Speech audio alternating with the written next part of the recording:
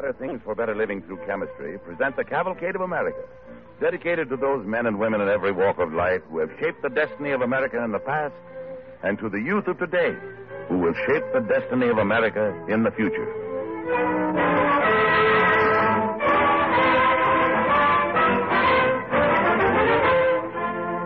Tom Paine, a man, an idea, a pen. It was that brilliant pamphleteer of 18th century America whose conception of the dignity and freedom of mankind knew no territorial boundaries, who gave a voice to a young America groping toward a realization of the ideal of freedom. With the well-known radio actor Frank Readick in the title role, the Cavalcade of America presents the story of Tom Paine.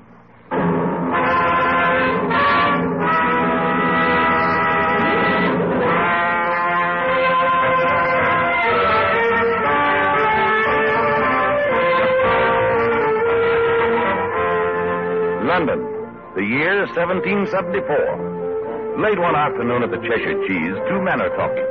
The older, England's great 18th century poet and dramatist, Oliver Goldsmith. The younger, a man of medium height with brilliant, piercing eyes, Tom Paine. You say you were visiting the Houses of Parliament this morning, Mr. Paine? Yes. Yes, I go as often as I can, Dr. Goldsmith.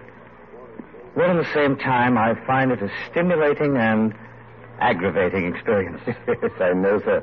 The current of ideas, the free expression of convictions. I always find it a vital evidence of freedom. Evidence of freedom. It's not enough. Freedom should be made a fact. It should be lived. Any sensible man in London today would agree with you on that score, Mr. Paine. Dr. Goldsmith, on such an elusive topic as freedom, it would be difficult to find many persons who would understand or agree that the principle of freedom could be worked out as a practical philosophy in government. But Paine, England believes in freedom.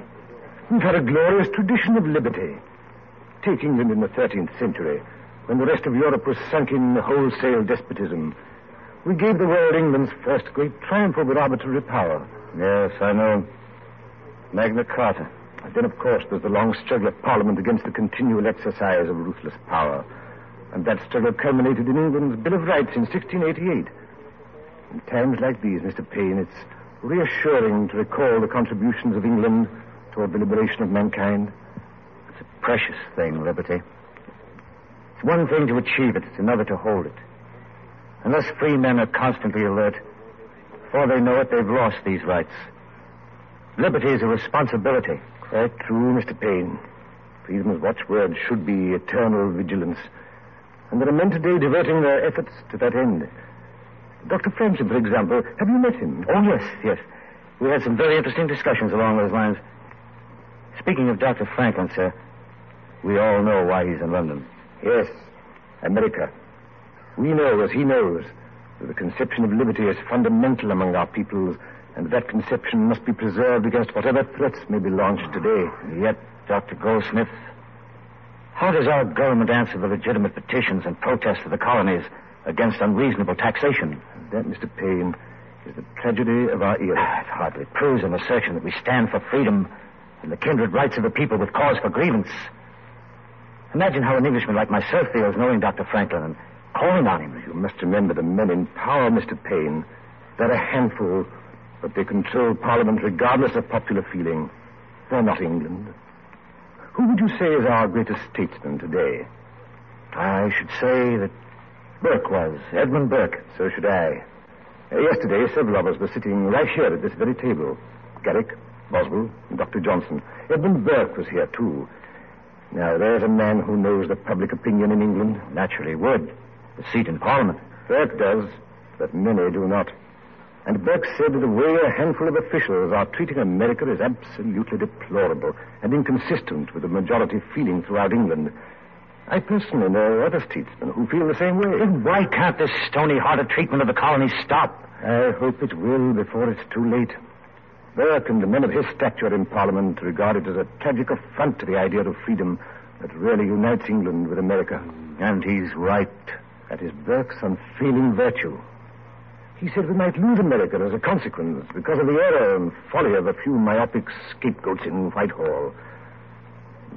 That between our peoples there will be an understanding, a bond of freedom that will never be broken. come whatever challenges there might be in the future. Well, Dr. Goldsmith, the time has come. Englishmen and Americans believe in freedom. Now it's up to our generation to perpetuate it, to make it work in the world, not only for our time, but for all time. Amen to that, Mr. Paine. Another pot of coffee. Oh, no, no, thank you, Dr. Goldsmith. It's dark already. I must be getting back to my lodgings. Good night, sir. Good night.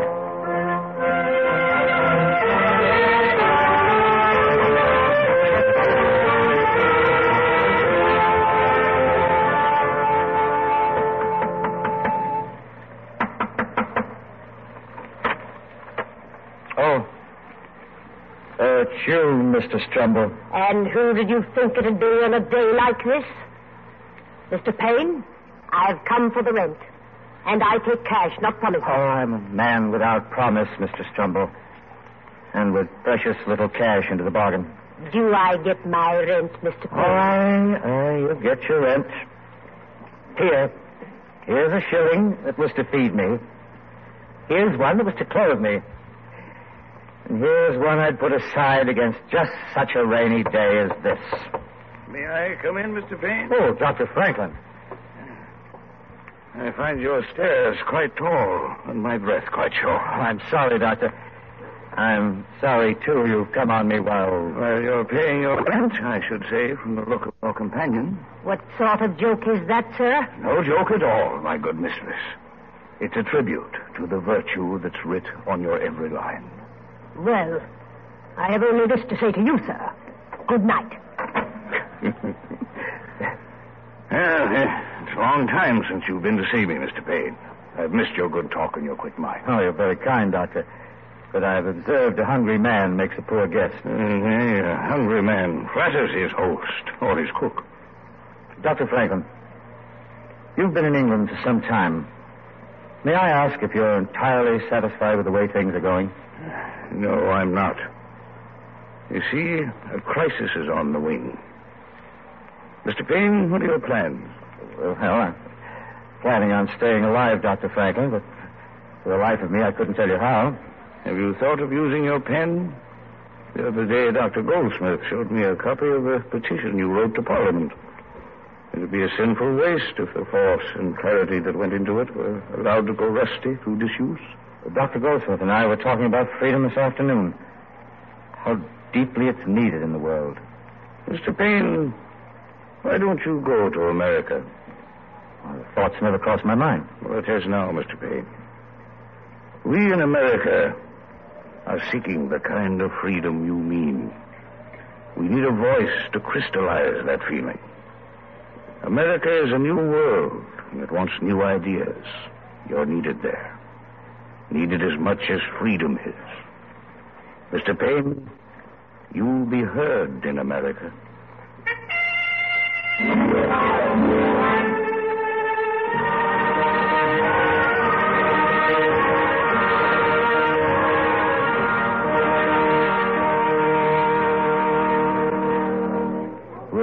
Table do, Mr. Colvin? Yes, fine, thank you. Oh. Good day, Mr. Crosby. Good day, gentlemen. Mr. Paine, how do you like our fine Philadelphia spring? Not keeping you from your work on the magazine? No, indeed. Just a little hungry for supper. Not too early, are we? Oh, you sit right down here by the window, and I'll have Meg fetch it. Thank you. Meg! Meg! Yes, ma'am? Quick, girl, some of that mutton and the pudding for the gentleman. Very well, ma'am. Oh, thank you, Mrs.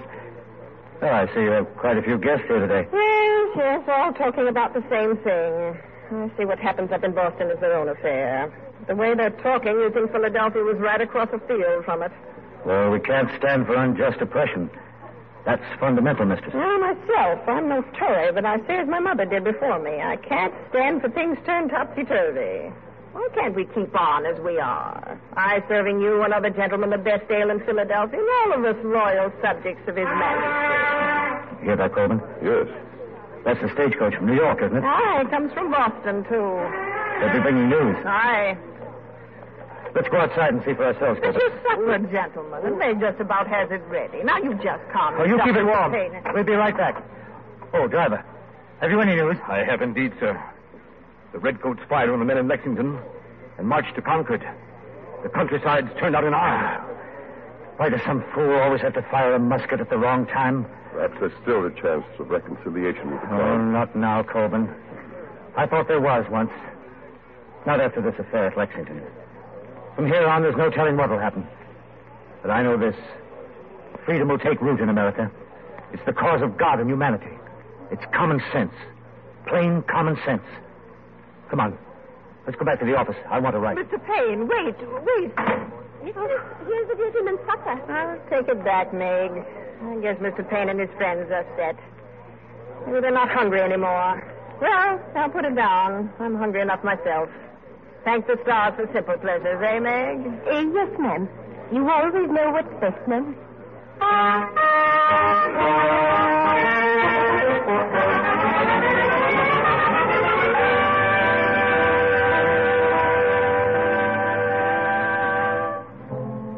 Excuse me, General Washington.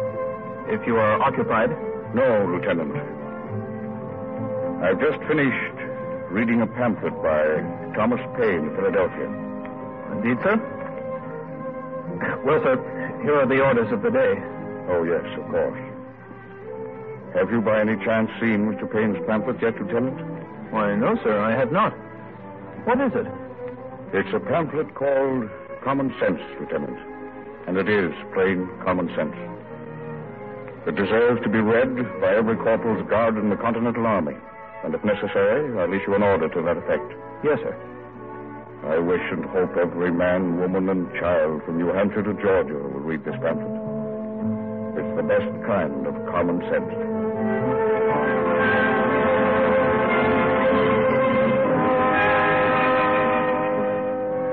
The sun never shone on a cause of greater worth.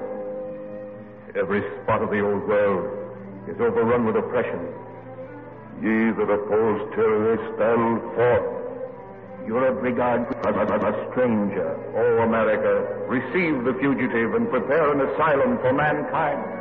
Now is the seed time of continental union. Now is the time for faith and honor. Now is the time for freedom. Now is the time for independence. Independence. Off with the yoke. Independence. And the days.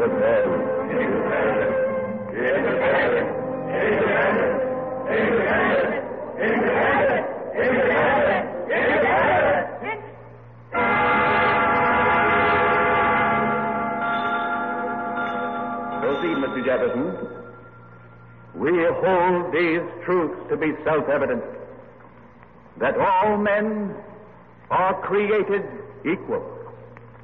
That they are endowed by their Creator with certain inalienable rights. That among these are life, liberty, and the pursuit of happiness. That to secure these rights, governments are instituted among men, deriving their just powers from the consent of the governed. That whenever any form of government becomes destructive of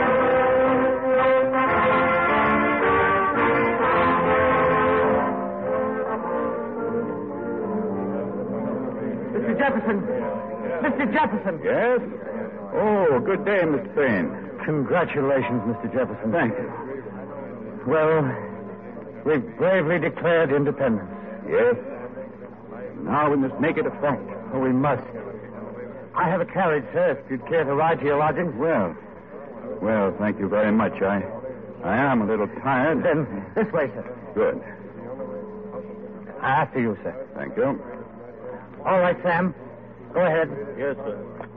Get up. Now, these people on the streets, Mr. Paine, do you think they know what independence really means? That it means responsibility as well as liberty? Oh, they will, sir. After reading your declaration, you can be proud of it. You have as good or better right to be proud yourself. Your pamphlet, Common Sense, prepared the way. It made people ready to declare their freedom. But I'm sure of one thing, Mr. Paine. What's that, Mr. Jefferson? Once given freedom, people must fight to keep it. And they must be reminded constantly of the blessings of their liberty, or it's lost. America is a young country, Mr. Jefferson. With it the hope and courage of youth. We've the strength, and now we have the will for freedom. Despotism is the curse of mankind, and now we have the chance to destroy it for all time in the United States. The United States. That was your phrase, too, Mr. Paine. We need men like you who can express. I hope you'll continue to write. Oh, that can wait, Mr. Jefferson. When the need arises, I'll write again. As you say, we we must all fight to keep our liberty. Right now, we need soldiers. We've had enough talking and writing for a while. Now I've had a chance to become General Washington's adjutant. I'm going to enlist, sir.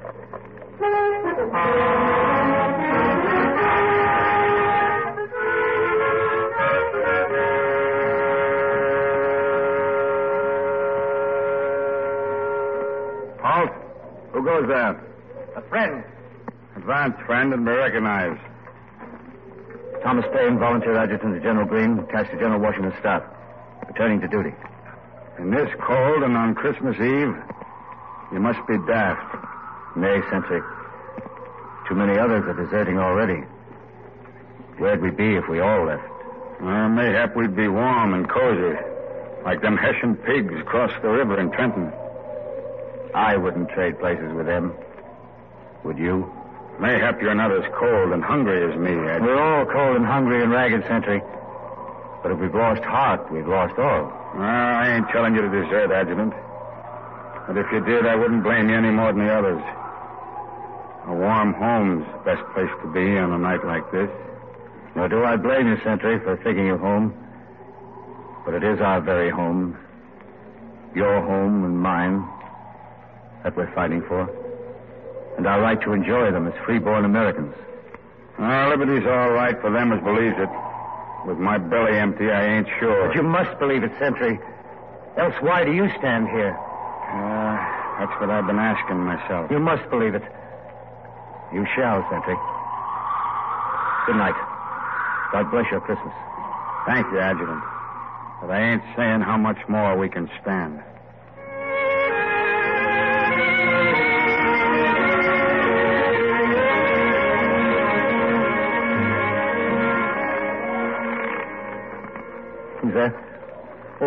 You, General Washington. I saw your fire, Adjutant. Thought you were writing. We might at least provide you a desk instead of a drum to write on. And out of the cold, too. Well, the drum was handy, General, and I wanted to feel the cold. Like the sentry felt it. The sentry who challenged me a little while ago. I wanted to feel it freeze the marrow of my bones and see how we can keep it from chilling his heart. If this pamphlet is like your others, Adjutant, it will give our army new heart and courage, if anything can. What did this sentry say? Oh, it was cold, hungry, and ragged, like all the rest. He wasn't sure just how much longer he could last. I know. What can we do, Adjutant? Many times everything seemed as hopeless to me as it does to them. If these continue, I'll be a general without an army. And the worst of it is, sir, that the poor fellows have lost hope in liberty. Yes. I wonder if there's a victory left in them. What do you call this new pamphlet? The crisis. The crisis. We have a crisis indeed. Do you mind if I see it? No, General. Although it's not quite finished. Here it is, sir. Thank you, Adjutant. These are the times that try men's souls. The summer soldier and the sunshine patriot will, in this crisis, shrink from the service of his country. But he that stands it now deserves the love and thanks of man and woman.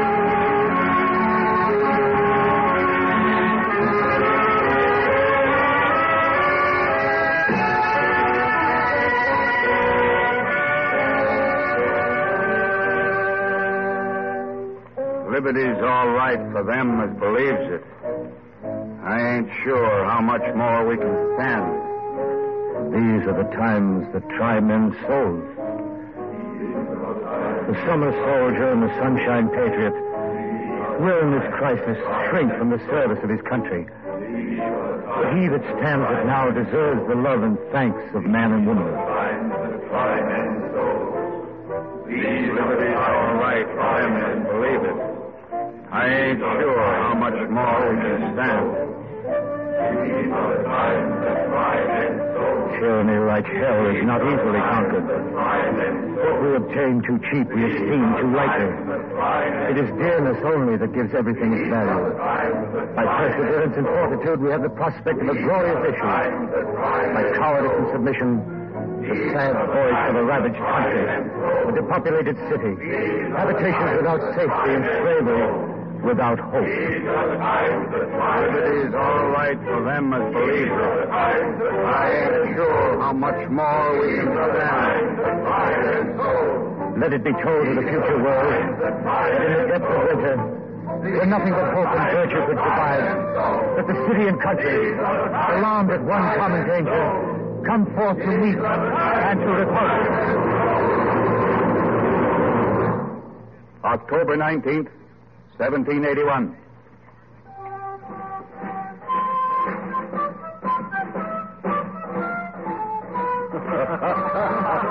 Gentlemen, one more cup before we go out to the parade ground. To our glorious victory. Uh, just a moment, Colonel Hamilton. To General Washington, our commander. And in eternal memory of this day here at Yorktown. A toast to General Washington. Thank you, Marquis de Lafayette. Thank you. May I call your attention to the music? Perhaps you in France are not acquainted with the brave old tune, The World Turned Upside Down. Well, it certainly turned our world right side up. Significant they should be playing that today. We've done more than defeat my Lord Cornwallis, gentlemen. The crisis is over. We won our cause. And now we have our freedom.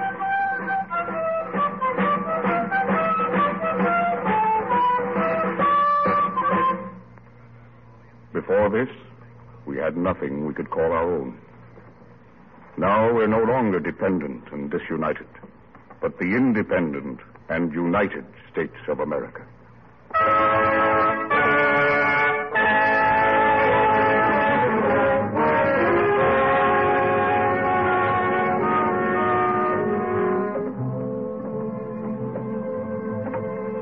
Well, here's the last step, sir. Here's my room. After you, Dr. Franklin. Thank you. Sit down, sir. Uh, thank you, Tom. Uh, my breath still comes short when I think of your other staircase. Every time you climb stairs to see me, something happens, Doctor. Yes, I know, Tom. In London, it meant you're coming here to the new world. And now here you're leaving us to go back to the old. Why? I must, Dr. Franklin.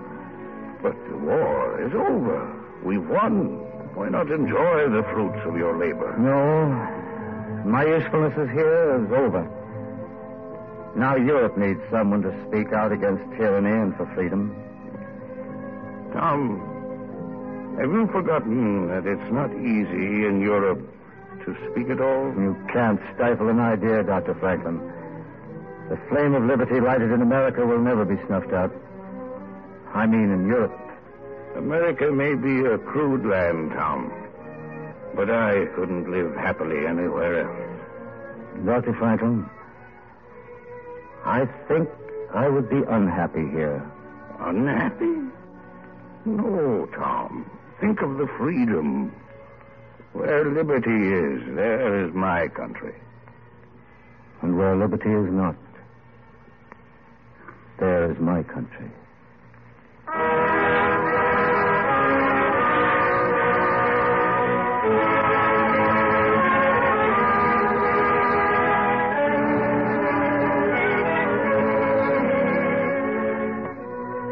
All his life, Tom Paine was a champion of the rights and freedom of humanity everywhere. And so he will be remembered by the world. But because it was America that gave him his first cause, and because he inspired in America the will to be free, Tom Paine takes an honored place in the cavalcade of America.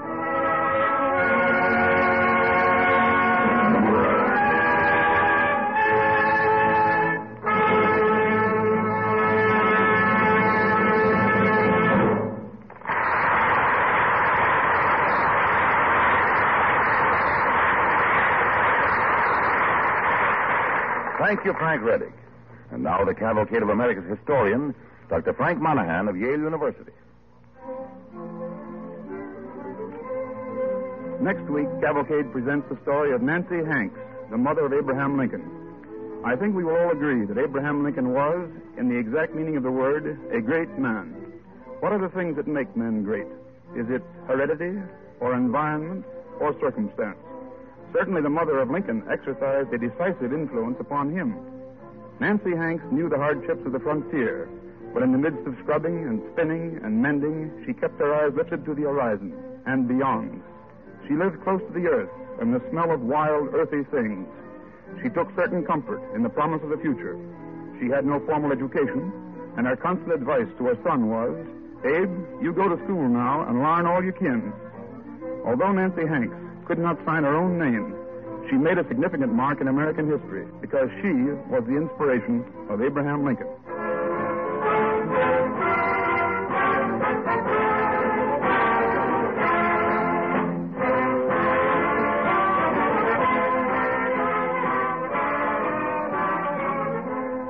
In our story of Nancy Hanks next week, the Cavalcade of America presents in the title role the well known radio actress Agnes Moorehead. The orchestra and the original musical effects on the Cavalcade of America are under the direction of Don Voorhees. This is Basil Ruysdael saying good night and best wishes from DuPont.